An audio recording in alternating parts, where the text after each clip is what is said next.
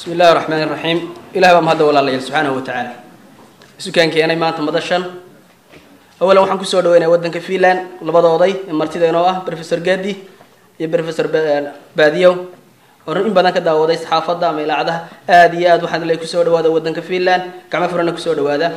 Dhammaan odayaasha akhyaarta salaadiinta cuqaasha gabdhaha sharafta badan aada iyo aad baan idin salaamaya salaan kadib dad badan baa ila talo maxaa maanta cawil meesha keenay?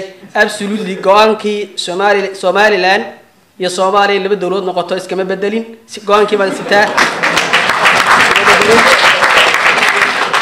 waxaan aaminsanay soomaaliya inay laba dawladood noqoto laakiin waxaan aaminsanay inay dadka soomaaliyeed wada hadlaan oy sheekaystaan oy meelaha noocana ku kaftamaan oo hadday kala tegayaanna iyagu agtooda ku wada hadlaan hadday wada kala yani si kala noqonaysa lakiin iyagu wada hadlaan saas darteed waxaan ka codsanaya labadooday.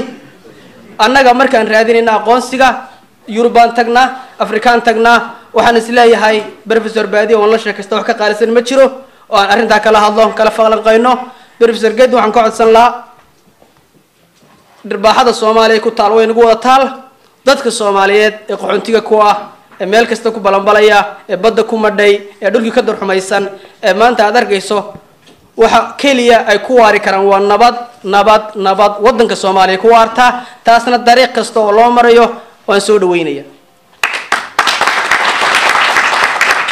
aniga aabbahay wuxuu ahaa sagaashan jir wuxuu raggii u dhintay midnimada soomaaliya wuxuu raggii aaday midnimada soomaaliya wuxuu raggii u ilmeeyey midnimada soomaaliya annaga waxaan ka mid ahay ragga u ooyaya inay soomaaliya kala godo.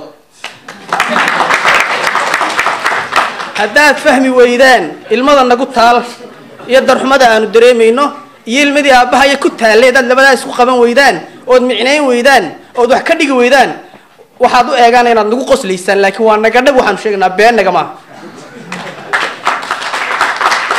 Walaalahayga soomaaliyeed hadallada noocaasa markaan ku hadlo waxay igu dhahan waad kaftamaysaa laakiin kaftami mayno. Dadka soomaaliyeed waa walaalo. Waxaan dadka soomaaliyeedna siin heli mayno. Waxaan dadka soomaaliyeedna siin heli mayno dowladnimo dadka soomaliyeedna siin heli mayno aqoonsiga dadka somaliyed siin heli mayno walaalayaal waxaan ka codsanayna waxba hana siinine.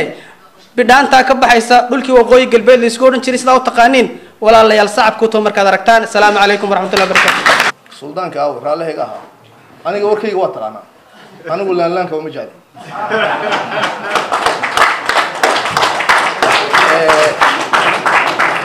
waxaan rabaa inaan fasiro waxa laysku eedeynaya waa waa siyaasad been ee ma jiraan xasuuqida la sheegayo cid aan dhibgaarin oo soomaaliyeed miyaa jirta? Bal gacanta taaga cidda cidda sheegi karta cid aan dhibgaarin oo soomaali ah waqooyi baa la xasuuqay maya bartamaha la xasuuqay maya koonfurtaa la xasuuqay? Waa waxa hadda aan idinka qancinayo. Haddaan dawladdaydii difaacay in laygu eedeeyo anigu aqbali ma karo jabhadihii kacay ee dawladdii militariga ahayd dalka koo iyo labaatanka sano hogaaminaysay riday ee ka saaray meesha. Soomaaliya o dhan miyaanay ahayn? Ma cid ka maqneed baa jirta?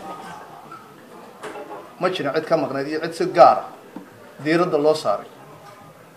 Cid walba dhibka ku dhib ku filan waa ka soo gaaray. Waxaanan qabaa arrimahaas in inta laga gudbo midnimo soomaaliyeed la raadiyo wada hadal baa socda oo waad ogtihin. Inuu miro dhalaan rajaynaynaa. Haddayna sax ahaynna wada hadalba la isuguma yimaadeen marka anigu riyada ah soomaaliya hala kala gooyo weligay aqbali